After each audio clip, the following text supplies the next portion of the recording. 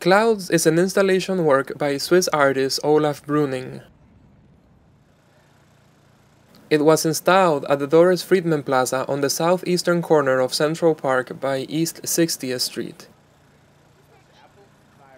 The work was on exhibit between March and October of 2014. The installation consists of six bright blue colored clouds made of polished and painted aluminum and were cut to match a hand drawing by the artist.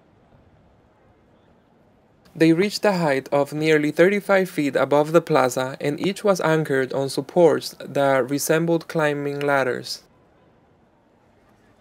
The compositional forms were arranged one next to the other at varying heights.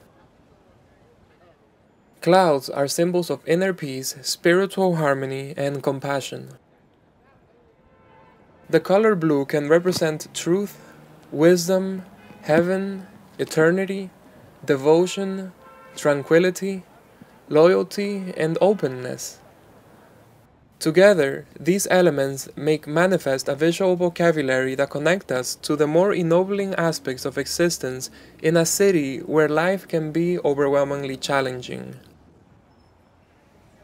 Clouds transformed the surrounding landscape, lending to the idea that the immediate and surrounding setting was a fictional, stage like tableau where climbing to the clouds was an artistic possibility.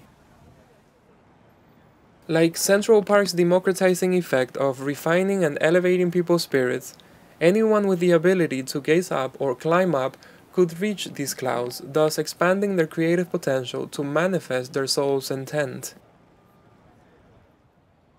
Thank you for your attention. Please share and uh, like the 5D Guide Facebook page or subscribe on YouTube for more videos. You can also connect by visiting 5dguide.com.